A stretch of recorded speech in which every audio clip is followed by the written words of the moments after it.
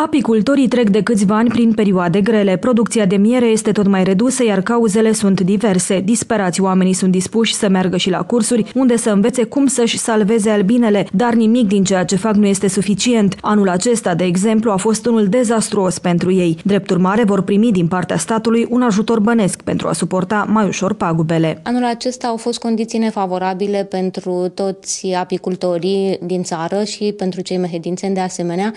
280 87 uh, de apicultori au depus cereri la Direcția pentru Agricultură pentru a primi un ajutor de minimis uh, diferențiat uh, pentru um, familiile de albine de 75, în număr de 75, vor primi 4 lei pe familia de albine. Pentru cei care au mai mult de 75 de familii de albine, vor primi 7,5 lei.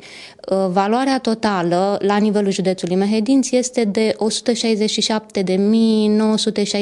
de lei. Vremea capricioasă de anul acesta a creat daune majore apicultorilor. Albinele au avut hrană mai puțină, iar recolta de miere a fost săracă. În aceste condiții, crescătorii au fost nevoiți să ajute familiile de albine cu hrană artificială. Oamenii spun că a fost cel mai slab an din ultimii 30. Noi ne încadrăm la că avem peste 150 de familii și am depus actele. Acum așteptăm să primim banii. Câți bani ar trebui să primiți? Nu știu să vă spun exact. Acum am înțeles că șapte lei pe familie. Vă ajută acești bani pentru ce? Ajută, da, să mai recuperăm din ce n-am câștigat. Din... A fost un an foarte rău. Salcâm n-am făcut deloc nicio picătură de miere de salcâm. Poliflor am făcut ceva mai bine. N-am avut niciun an atât de rău ca anul ăsta.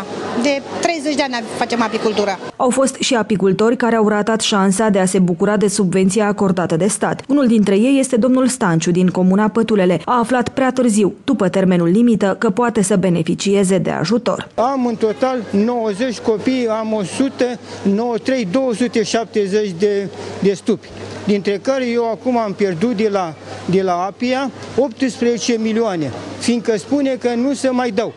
Dar în momentul când această subvenție se dă, de ce nu se anunță? Domne, sunt crescători de albine, sunt trecut într-o asociație apicolă și nu m-a anunțat absolut deloc. Eu nu pot să visez noaptea ceea ce visează parlamentarii sus. Depunerea dosarelor s-a încheiat la 31 octombrie. Direcția Agricolă Mehedinți centralizează în aceste zile datele pentru a fi trimise la Direcția Buget Finanțe a Ministerului Agriculturii. După 2 decembrie, sumele reprezentând ajutor de minimis se plătesc beneficiarilor eligibili până la 28 februarie 2015.